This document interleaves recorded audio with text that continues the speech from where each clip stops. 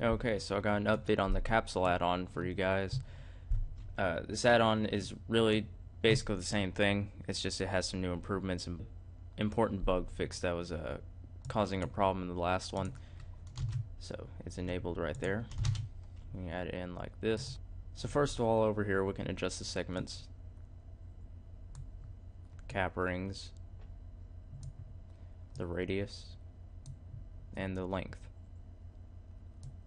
So you know it's pretty much the same add-on, no real differences, just the bug fixes. Uh, so like down here before, there was a weird face being created on an edge, and if you deleted it, Blender would crash. So that's gone. Um, and the other and the other big fix, which was uh, a name when you type in add capsule. On the previous one, it would not show up because it said add a capsule. So you had to literally type that in, which uh, someone pointed out in the comments, and yeah, it's actually kind of annoying. So I got that fixed up. Other than this, it's just a few little name fixes, and yeah, it's just a this is just a bug fix overall, and uh, an improvement.